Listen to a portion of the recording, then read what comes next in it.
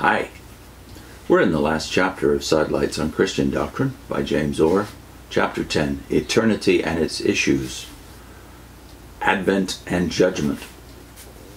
Orr says, reverting to our principles of prophetic interpretation, let us look at their bearing on this problem of the time of the Lord's coming.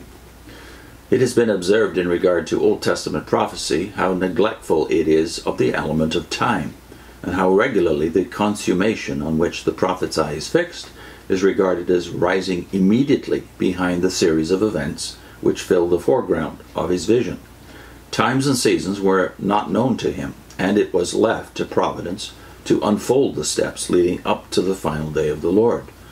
But what the prophet did know was that the coming of this day was certain and was the event to which all other events were hastening on. To the prophet's faith and expectancy, therefore, this event seemed always near, as a high mountain on the verge of the horizon always seemed at hand. So this event loomed up behind whatever phase of providence was immediately in view. Is it, or could it have been otherwise, in the New Testament? The Lord's coming was, beyond doubt, the great fact on which the hope of the church was set. It was the great event ever to be watched and waited for, according to Mark 1335, to which every eye and prayer ought always to be directed. Its time, beyond general indications, was unknown. It stood out, therefore, at every point behind the immediate conflict with the powers of the world, behind gospel preaching, behind persecution, behind heresies, behind fall of Jerusalem, behind collapse of Gentile empires. The one thing to be looked for, watched for, worked for, prayed for, and as far as human effort could aid it, hastened. This last remark leads to the mention of another principle in connection with prophecy apt to be overlooked. I mean its I mean its conditionality. This is a principle to which often justice is not done in asking the question, why has the Lord's coming been so long delayed?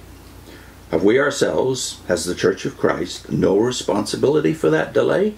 We are apt to think of the Lord's coming as something which has its fixed date to which our own faithfulness or unfaithfulness has no relation. This is a mistake. From the point of view of God's absolute knowledge, no doubt, the day and hour of the Advent, like that of every event in time, is immovably fixed. God knows all the circumstances that condition that event and the very moment when it will take place. In that sense, the Father, and He alone, knows the day and hour.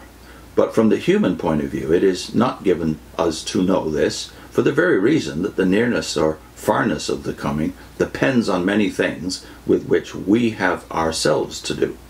Take our human life. It is quite certain that God knows the precise moment when every one of us will die. Our times are in His hand.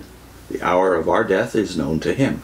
Yet, from our human point of view, we know that the time of our death depends, in part at least, upon ourselves, that by proper care we may, in all prob- probability, prolong our life, as on the other hand, by carelessness, profligacy, or exposure to unhealthy conditions, we can certainly shorten it. We may fire a pistol or take poison and end our lives on the spot. Do these things conflict? They do not conflict at all. So, with reference to the Lord's coming, in the Westminster Shorter Catechism, the second petition, in the Lord's Prayer, Thy kingdom come, is thus explained quote, That the kingdom of grace may be advanced and the kingdom of glory may be hastened. But why hastened if we have nothing to do with it? No responsibility for its retarding or advancement. Does anyone believe that if the church had been watchful and diligent and faithful as it ought to have been, abounding in faith and love from the beginning, things would have been as far back as they are today, that the end would not have been nearer or perhaps reached long ago. That's a great thought. And we know how relevant that is, i.e., the, the reason the Lord tarries is because it's not time yet, and part of that is our human responsibility. So I can't help but think of J.C. Ryle, who was a contemporary of Orr, an older contemporary, who had been during the period from 1880 to 1900, the first bishop of Liverpool, and I did a video on him not that long ago. If only C.T. Russell and the other so-called prophecy teachers of the day had listened to J.C. Ryle. So we'll put that video up.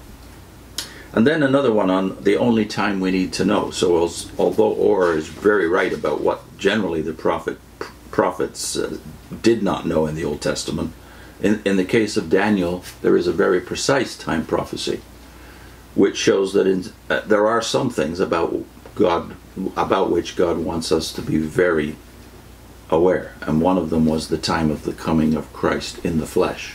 So Daniel chapter 9 is apart from other prophetic pictures of Messiah in the Old Testament that it is very precise chronologically. So link to that one, the only time we need to know, Daniel chapter 9, the 70 weeks.